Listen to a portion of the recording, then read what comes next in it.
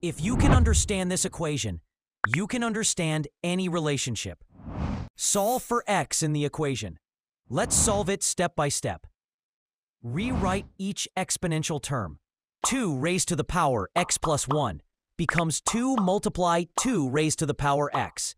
And 3 raised to the power x minus 2 becomes 3 raised to the power x divided by 9. Now, multiply both sides by 9 becomes 18 multiply 2 raised to the power x equals 5 multiply 3 raised to the power x. Now, divide both sides by 3 raised to the power x. This gives 2 divided by 3, all raised to the power x, equals 5 divided by 18. Take natural logarithm on both sides. So, x multiply natural log of 2 divided by 3 equals natural log of 5 divided by 18. Solve for x.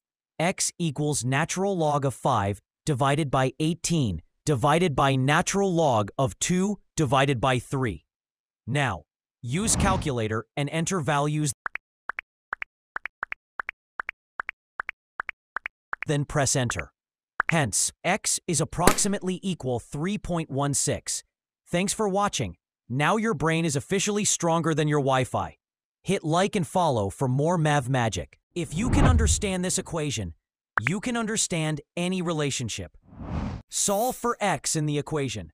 Let's solve it step by step. Rewrite each exponential term. 2 raised to the power x plus 1 becomes 2 multiply 2 raised to the power x.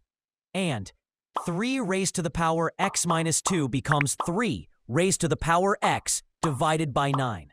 Now, multiply both sides by 9 becomes 18 multiply 2 raised to the power x equals 5 multiply 3 raised to the power x. Now, divide both sides by 3 raised to the power x. This gives 2 divided by 3, all raised to the power x, equals 5 divided by 18. Take natural logarithm on both sides. So, x multiply natural log of 2 divided by 3 equals natural log of 5 divided by 18. Solve for x.